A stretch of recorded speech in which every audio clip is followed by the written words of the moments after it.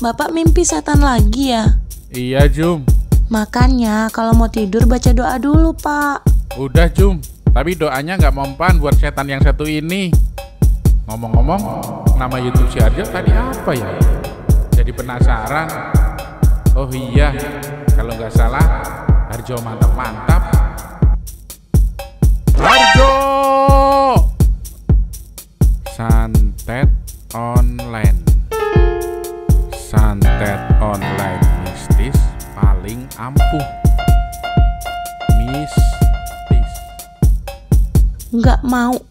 Pokoknya gua nggak suka ya Itu pembulian namanya Juminten pasti malu sama teman-temannya karena bapaknya dijadikan jin di konten itu.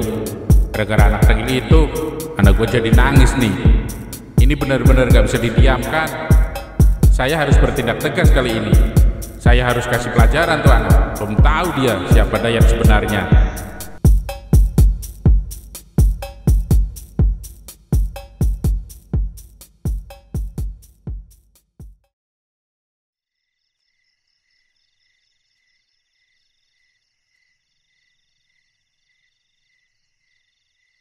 Tuh, si Darto warungnya tutup nih. Ah, gua cari aja dah ke pos Randa. Kali aja ada anak-anak di sana lagi pada ngopi. Gua ngikut ngopi dah.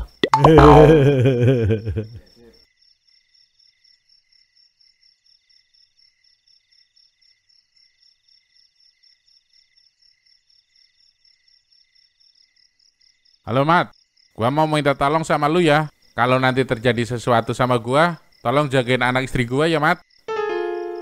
Udah, pokoknya lu sebagai sahabat gua, lu harus bantuin gua kali ini. Mungkin ini jadi permintaan terakhir gua ke lu. Makasih sebelumnya ya Mat.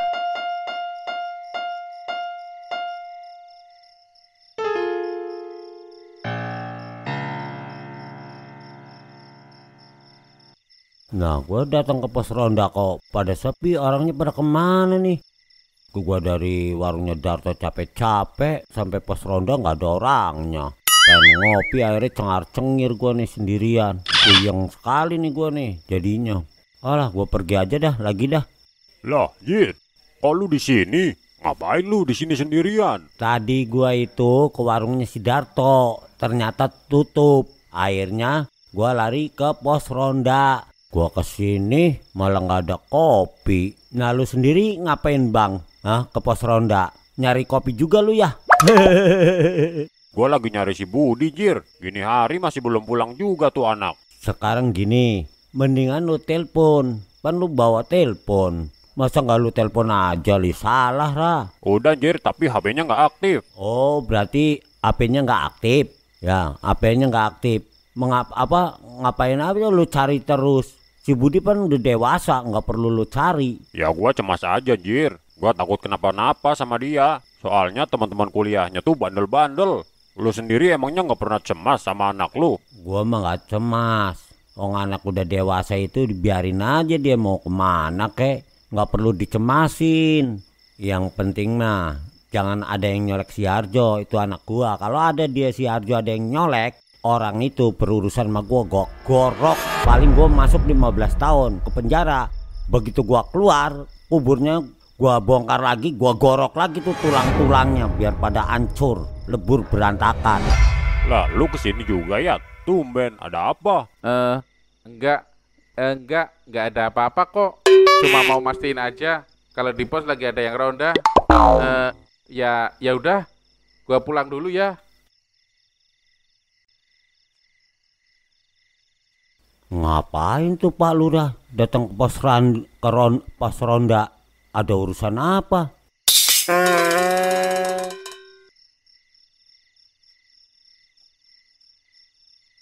Halo mah, Mama kemanain aja?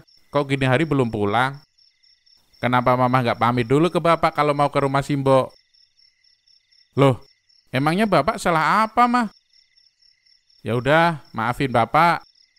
Mah, Mama,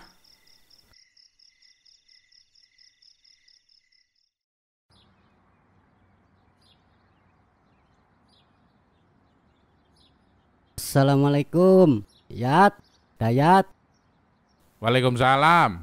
Eh, ada apa Mat? lu yang ada apa Yat? Maksudnya? Semalam lu nelpon gua ngomongnya kayak orang punya masalah besar aja. Ada apa sih Yat? Lu ada masalah sama istri lu ya Yat? Loh, kok lo tahu, Mat? Ya tau lah. Soalnya kemarin gua lihat istri lu pergi naik mobil sama laki-laki. Ah, yang bener, Mat. Loh, gua kirain lu tahu. Makanya pas semalam lu telepon gua, gua pikir lu mau nekat berantem sama laki-laki itu. Lo masih inget gak, Mat? Ciri-ciri orangnya kayak apa? Yang jelas sih itu orangnya rambutnya gondrong ya. Wah, jangan-jangan itu si Rola, mantan pacar istri saya.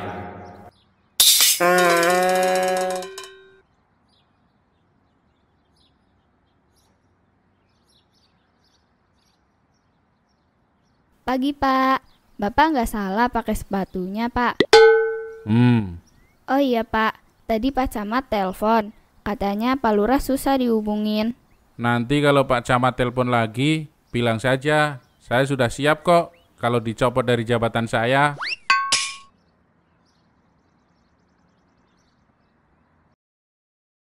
Saya ini benar-benar bapak yang payah, nggak bisa ngelindungin putri kesayangnya sendiri. Dan saya memang pengecut. Bahkan dengar banjir ngomong gitu aja, nyali saya langsung ciut.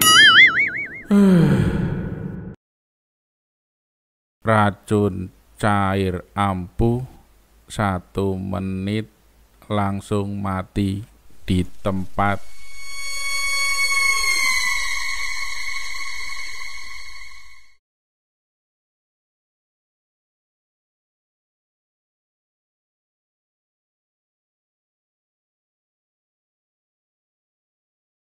Saya nggak tahu harus gimana lagi. Semuanya hancur. Karir saya, kebahagiaan keluarga saya, semuanya sudah hancur. Semuanya sudah nggak tersisa lagi. Maafin bapak ya nak. Junita.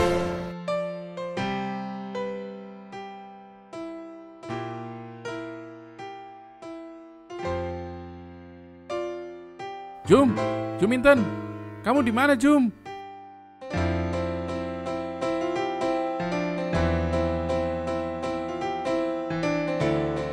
Sandal dan sepatu Juminten masih ada. Jangan-jangan Juminten diculik. Juminten! Jum, Juminten, kamu di mana Jum?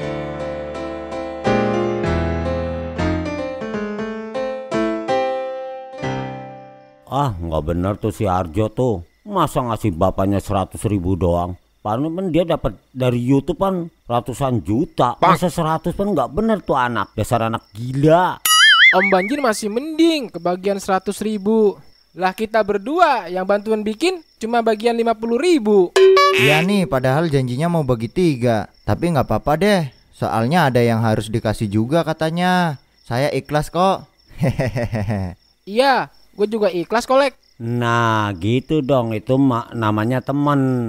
Nah, kalau gitu gue juga ikut-ikut temennya si Arjo. Gue juga ikhlas juga lah.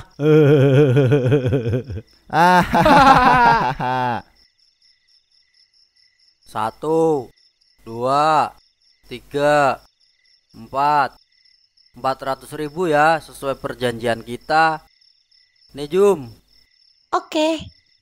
Assalamualaikum. Waalaikumsalam. Pak Ustadz. Oh, ternyata kalian berdua tamunya. Kirain siapa? Iya, Pak. Hehehe. oh ya, kalian ada perlu apa ya?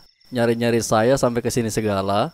Ini Pak Ustadz. Alhamdulillah kebetulan kita lagi ada rezeki lebih nih, Pak. Nah, kita berniat mensedekahkan untuk anak yatim, Pak. Wah, alhamdulillahirabbil alamin. Ini saya terima ya. Insya Allah amanah dari kalian akan saya sampaikan kepada yang berhak. Dan semoga Allah melipat gandakan pahala kalian atas kebaikan ini. Terlebih ini kan bulan Ramadan. Insya Allah pahala kalian makin berlipat ganda. Amin. Dan semoga sebelum lebaran motor Harjo sudah bisa ditebus. Amin. Hehehe. Amin. Jum, Jum Intan. Loh, Bapak? Jum, kamu baik-baik aja kan? Kamu nggak kenapa-kenapa kan? Pasti kamu bikin ulah lagi ya, Jo? Bapak apaan sih? Juminten nggak kenapa-kenapa, Pak. Terus, Bapak sendiri ngapain tiba-tiba sampai sini? Tadi pas bapak di kamar, bapak dengar kamu teriak. Bapak keluar, kamu nggak ada. Ya paniklah bapak. Bapak pikir kamu diculik orang. Makanya bapak langsung keluar nyari kamu. Eh, nggak taunya kamu di sini. Oh, itu. Jadi ceritanya gini, Pak. Halo Jum, udah gua ambil nih duit penghasilan konten YouTube-nya. Gua ke rumah lu ya, nganterin duit bagian lu. Nggak usah, Bang. Kita langsung ketemu di depan masjid aja. Oh gitu. Oke deh, gua OTW ya. Oke. Eh, bentar, Bang. Ngomong-ngomong, Jum kebagian berapa emang? 400 ribu Jum. Wah, ups. Wah, lumayan juga ya hasilnya.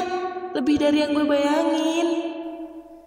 Gitu, Pak, ceritanya. Lah berarti kamu tahu masalah video itu dong? Ya tahulah, Pak.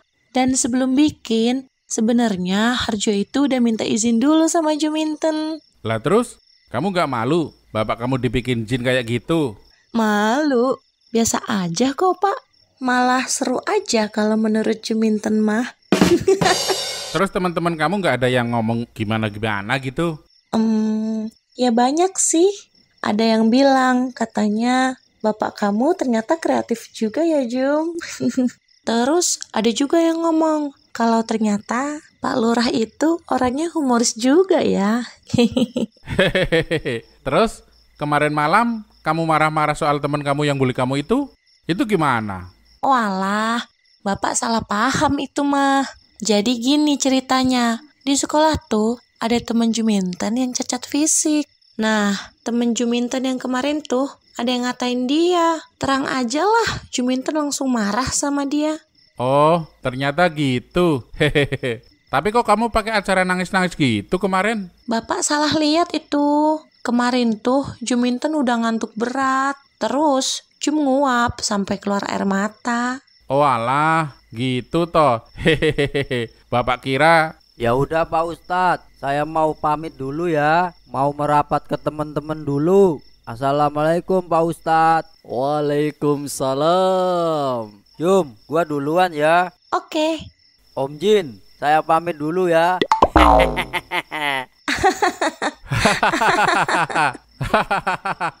Oh iya Pak, Juminten lupa ngasih tahu Bapak. Kemarin Ibu dijemput sama Om Ardi.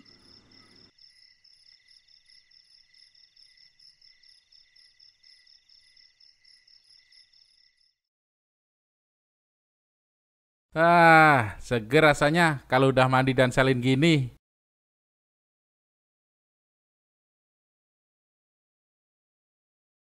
Malam Pak Dayat. Malam juga Pak Camat. Wah, Pak Dayat susah banget dua hari ini saya hubungin. Kayaknya lagi sibuk ngabulin permintaan masyarakat nih ya. Hehehe. Bisa aja Pak Camat. Oh iya, ada apa Pak malam-malam gini nyariin saya? Itu Pak Dayat. Senin depan Bapak ke kantor saya ya. Mau ada apa ya Pak? Gini Pak, jadi tahun ini Kampung Cerita Warga tuh terpilih jadi Kampung Pemuda Kreatif Pak. Nah, jadi Pak Dayat kami undang ke kantor kecamatan untuk menerima penghargaan tersebut. Oh, gitu ya Pak. Alhamdulillah. Iya Pak, jadi saya harap Pak Dayat bisa hadir ya pada waktu yang sudah ditentukan. Siapa? Saya usahakan saya siap hadir. Ya sudah, gitu dulu ya Pak. Iya, siap Pak Camat. Alhamdulillah. Waduh.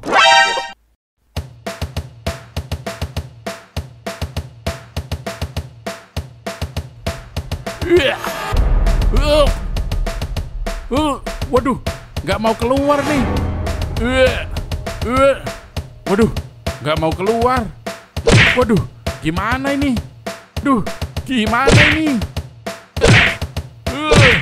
Uh. Aduh. Uh. Aduh.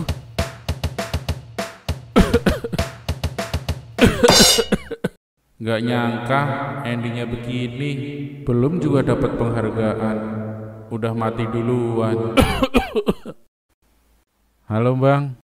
Bang, maafin gua ya. Kalau kemarin-kemarin gua punya salah sama lu. Sampaiin juga permintaan maaf gua sama yang lainnya ya bang.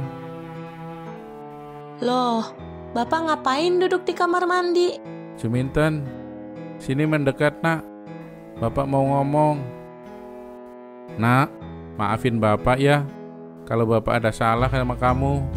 Maafin Bapak juga kalau selama ini Bapak belum bisa jadi Bapak yang baik buat kamu. Bapak ini ngomong apa sih? Udah kayak orang mau mati aja. Oh iya Jum, besok kamu ke bengkel mobil langganan Bapak ya. Ambil mobil Bapak di sana. Mobil itu buat kamu aja Jum. Dirawat baik-baik ya. Seriusan, Pak? Iya, serius Jum. Yeay, asik. Makasih ya, Pak.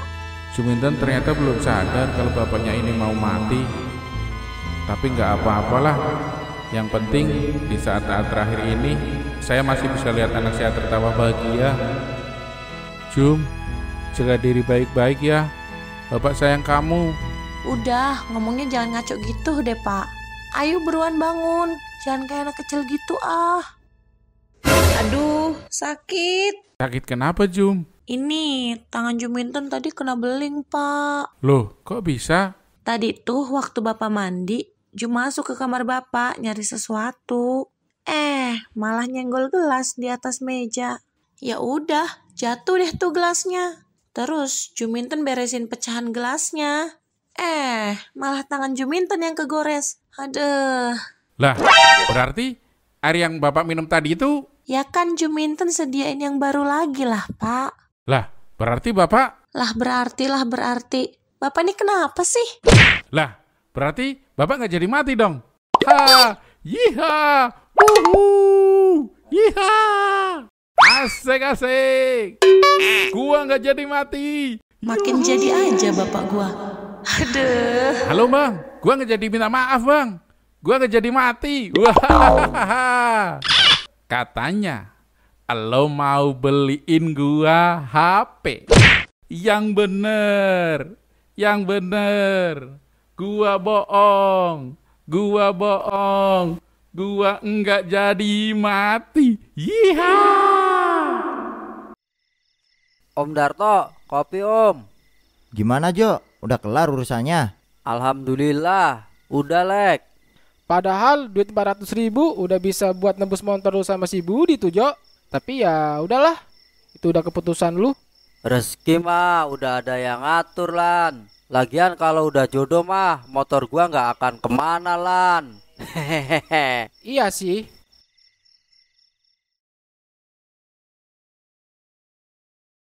Bapak tuh kalau mau pakai mobil Juminten izin dulu kek.